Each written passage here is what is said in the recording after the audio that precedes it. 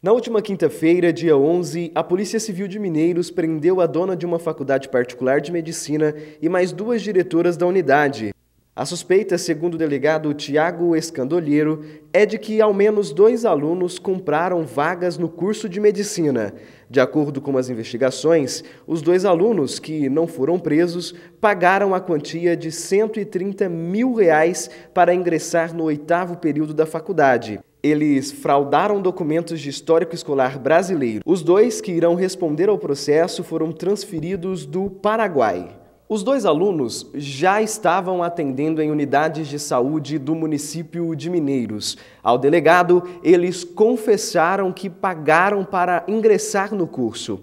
A dona da faculdade, assim como a diretora-geral e a diretora do curso de medicina, foram presas com medidas preventivas de cinco dias. A Polícia Civil também realizou apreensões de documentos na faculdade. Em nota divulgada ontem, dia 12, a faculdade disse que a instituição é vítima de ação criminosa de uma quadrilha especializada que atua não somente no município de Mineiros, mas em outras cidades. A faculdade conclui ainda que continuará contribuindo com as investigações, uma vez que, abre aspas, identificar e punir os culpados por qualquer fraude é de total interesse da instituição. Fecha aspas.